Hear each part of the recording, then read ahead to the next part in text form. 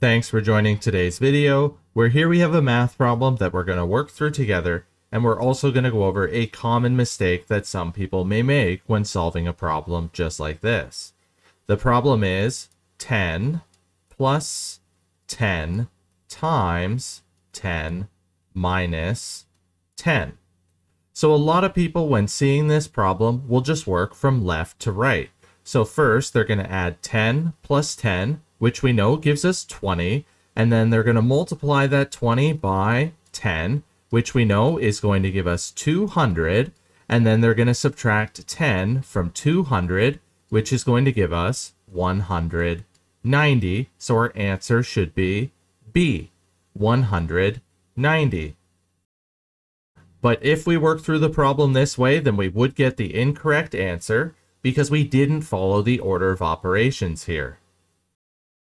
So let's go ahead and work through this problem together, except this time we're going to make sure that we're following the order of operations. The original problem was 10 plus 10 times 10 minus 10. So since we have multiple operations within this problem, we need to make sure that we're following the order of operations here. And over on the left-hand side, we can see the acronym PEMDAS, which stands for the order of priorities when solving problems just like this. The P stands for parentheses and the E stands for exponents. And since we don't have either one of those, we're going to move on to our next priority of multiplication or division. And here we do have multiplication, so we're going to multiply 10 times 10, which we know gives us 100.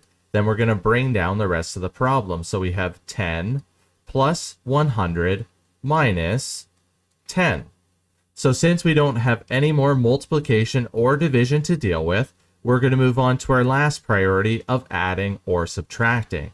And here, since we're going to be adding 10 and we're going to be taking away 10, they're going to cancel each other out. So that means that our answer here is going to be 100.